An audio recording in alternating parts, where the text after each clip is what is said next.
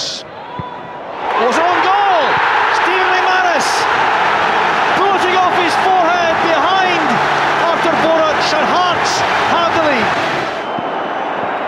That's Hartley! 2 0 to Hearts!